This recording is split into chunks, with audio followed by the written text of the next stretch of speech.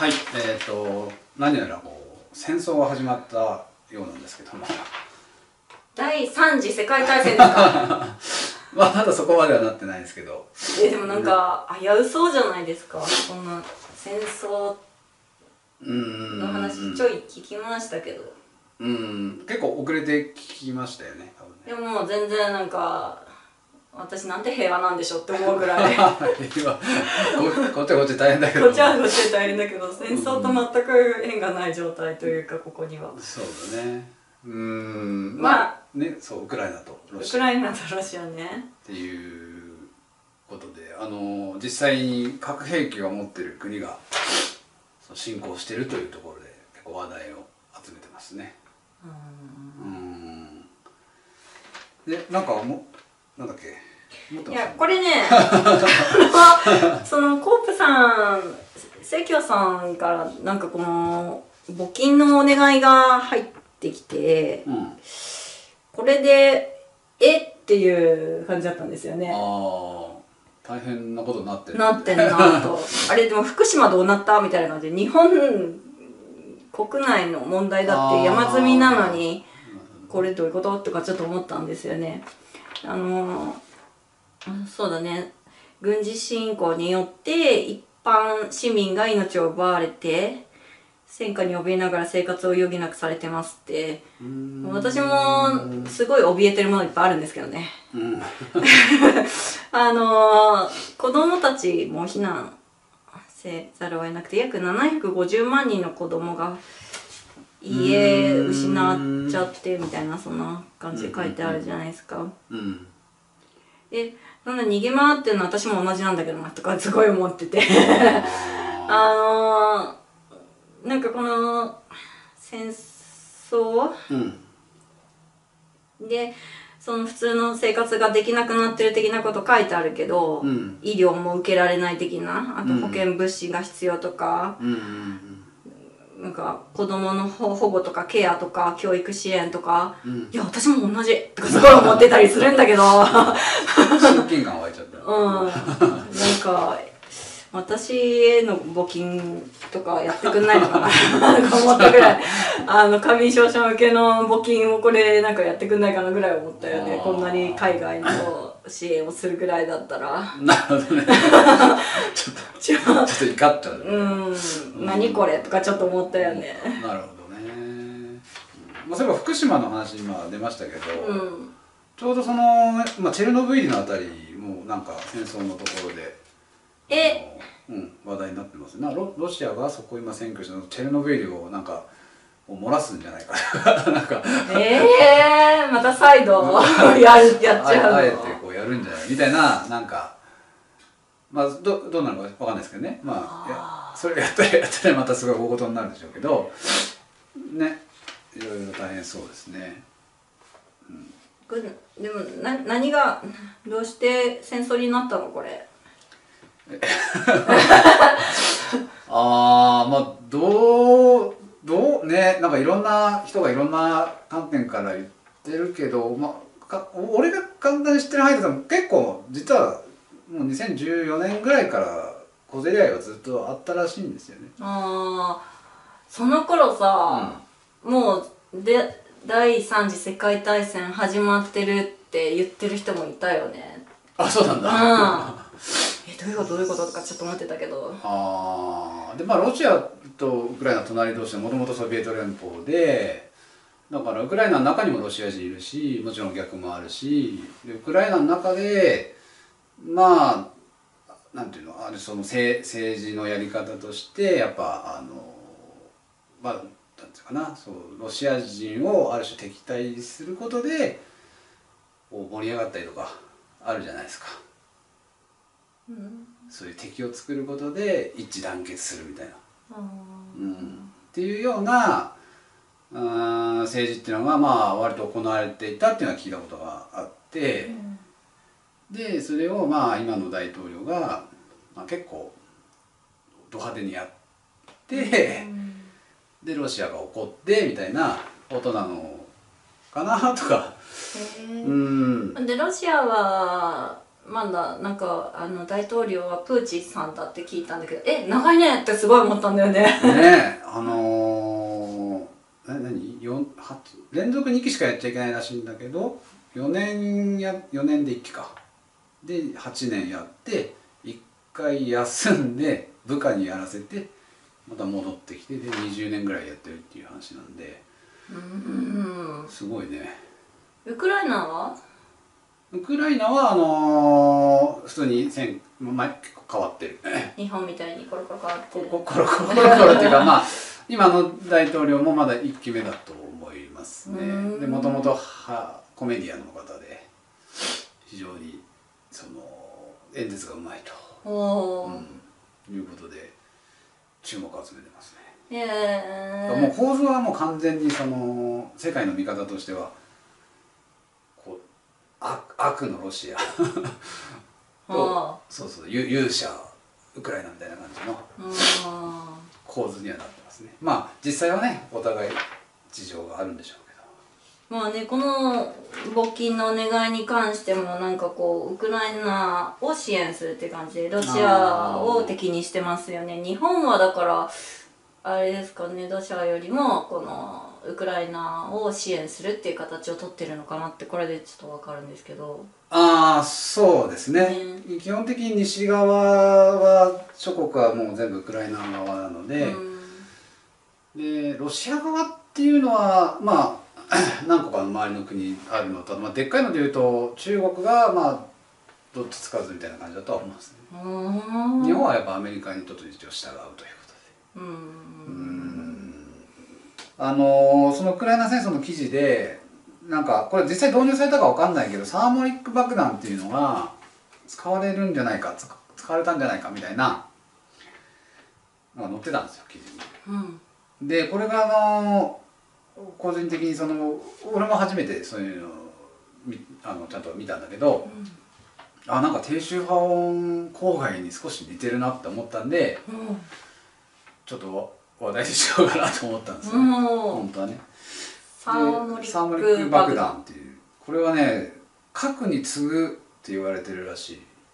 か核兵器の次に次ぐ威力を持つって言われてるぐらいのものらしいんだね。すごい破壊力があるってことですよね。そう。でそうそうそう。あのねまあ簡単に言うとそのもう衝撃波をボーンと広範囲に渡らせていく爆弾なんだけど。衝撃波。そう。あのなんつうの？近いもう近くにいる人は普通の爆弾と一緒でもうその爆風で吹吹き飛びますと。まあ飛ぶらしいね。爆弾とかと一緒でまああのぶ物質的なそのものでこう破壊するっていうよりもその本当その衝撃が多分すごくて爆風とかでだから、えっと近くの人はもうがなんつうの？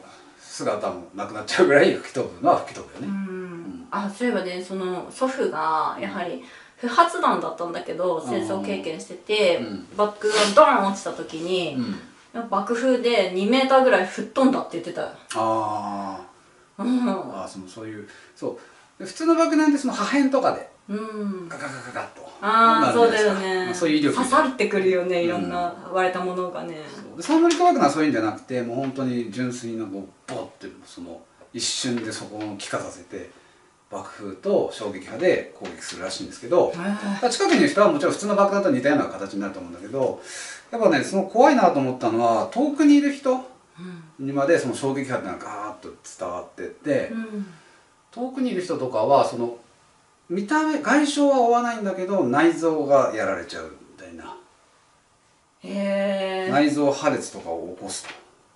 でそれってね低周波症候群とかも外傷は分かんないけど、うんこの内部の脳を揺らされたり、うん。その心臓が痛いとかうん。あるじゃないですか、一番来るのはやっぱね内臓が揺れてるらしくてうん、おえつ？おえ？おおえってなるんだよね。ですだからそれになんかあ近いな。だ,、まあ、だって衝撃波だわけなんで、うん。要は多分こうすごい低周波なんじゃないですか、そうなるよね。そうか遠くまでまず飛ぶっていうことだし、うん。でものすごい振幅があって多分その周波数がちょうど合うところ内臓とかのところが揺らされちゃうんじゃないかなっていう。ありそう。えっと脳の中脳だったっけ？あのちょっと部位忘れちゃったんだけど、一番その共振する周波数っていうのが 100Hz っていうやっぱ低周波音なんですよね。なのでやっぱ頭がすっごい痛い頭痛がするっていうのとかあって本当にの脳みそがパーンって破裂しちゃうんじゃないかっていう痛さを経験するんですね。あそれが実際にそういう爆弾という兵器であるとしたら、あ間違いなくこの衝撃同じなんじゃないかと私は体感してわかる、これ本当にねあの頭蓋骨がわもしひびがあったら、うん、脳みそ出てっちゃうだろうっていうぐらい膨張してる感があってまあそれは一種なんかこう爆発って体内の中の内臓が破裂するっていう感覚わかります？うん。そうなんだよね。外外傷がないっていうのはやっぱさ怖いよね。そうなんていうの？だから相手にされない相手にされないしさ 精神病者扱いされるしさすごい悔しい思いいっぱいしてるんだけど。うん。だこういう暴力っていうのも実際にね兵器としてあるっていうね。そうなんだよね。大体外傷の場合こういう内臓とかバーンって打たれたら皮膚が赤くなったりするので、暴力されたっていうの分かるけど要はこのバーンってこう物が当たってるっていうわけじゃなくって波がバーンってこう空気がぶつかってきてるのであ皮膚が赤くなるとかじゃなくって内臓だけそうそうなんか中中国憲法みたいなね、うん。こうドンって 衝撃でーうん。吹っ飛ぶみたいなね、そうそうそそう。んそうな感じだよねだねみんなやっぱ騒ぐのって流血がないと騒がないんですよねなかなかね。ほんとみんなどんだけ視覚優先で生きてるんですかね。しだけど赤ちゃんって体感でよね。あの一番よく使ってるのは触覚とかじゃないですか。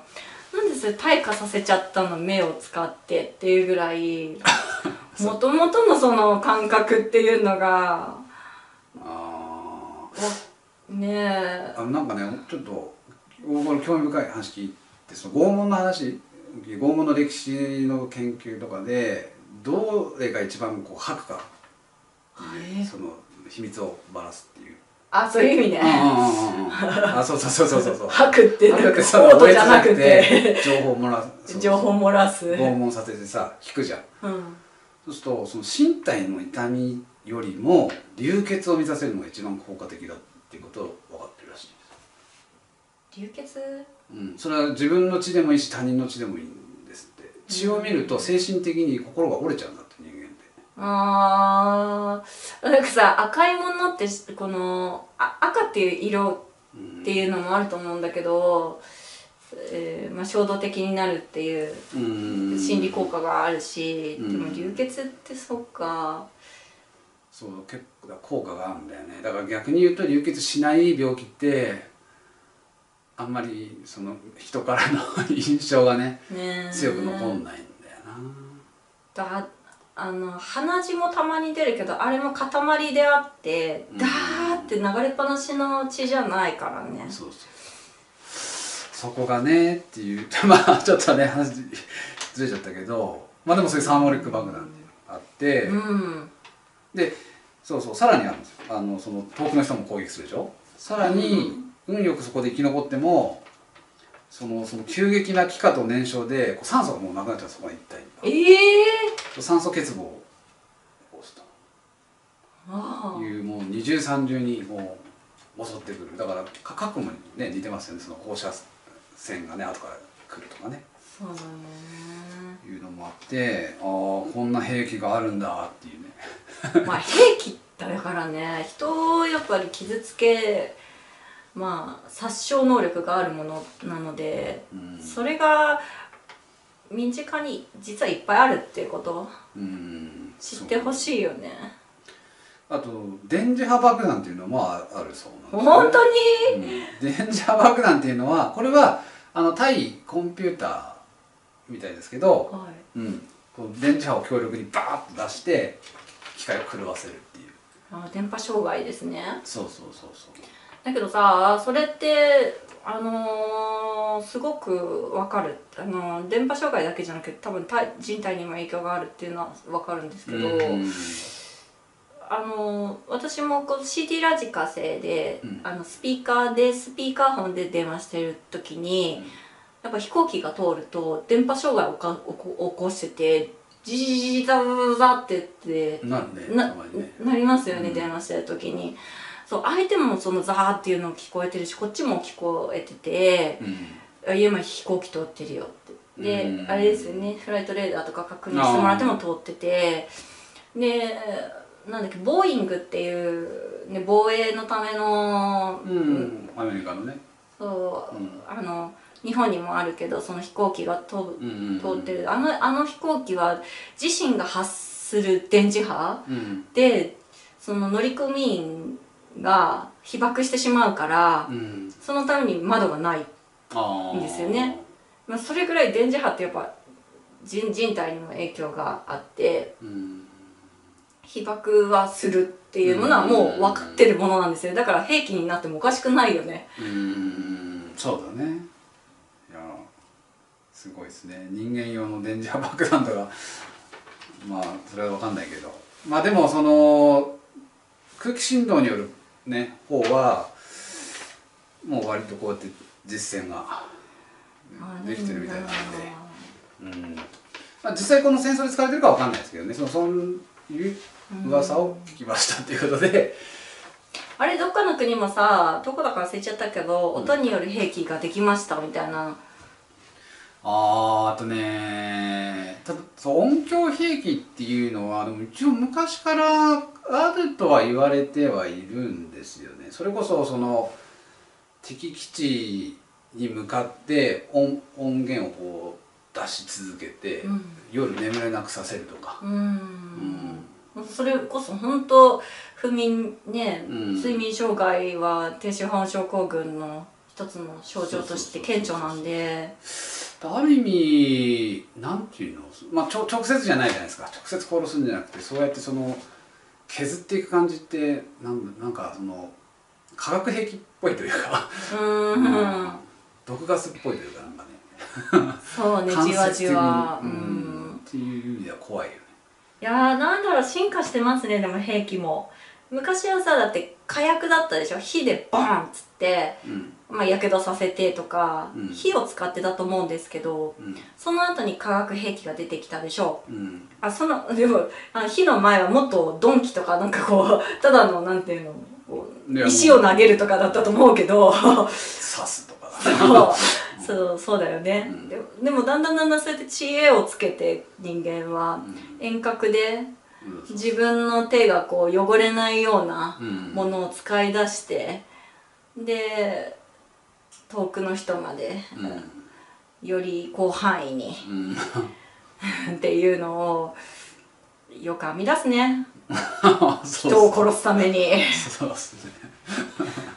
本当なでもあれなんだよね。そのチョコレートとかもさあチョコレートじゃない電子レンジとかできたのもさうん。そのよく言われるじゃん。戦闘機にチョコレートを積んでたアメリカ兵が、なんでこれ溶けんだろうってチョコレートが、えー、でマイクロ波が影響してるっていうことで電子レンジ開発になったので要は軍事からのあれは生活応用品になったんだよね。そうやってねあの生活応用できればいいんだけど逆に生活応用して今弊害が起きてるものっていっぱいあるから。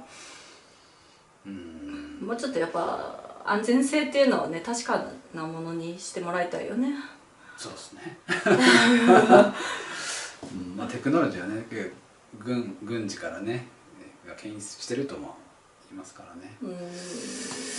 まあまあまあまあそんな感じで。いやーすごい兵器が登場したもんだわ。うん。ですね。平和になるといいですね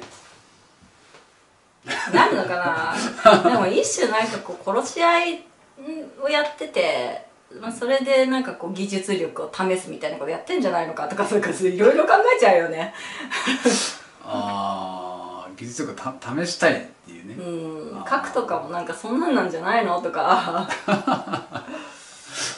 ね核が放たれるのかっていうのは、まあ、注目点ですね。うんまあ核兵器日本はね落とされたじゃない？原爆。まあ唯一落とされた国ですからね、うん、どうなるのかと。ね まあ引き続きちょっと様子を見てまたなんかあのー話題になりそうなことがあったらまたこういう場で話したいと思います。はいありがとうございます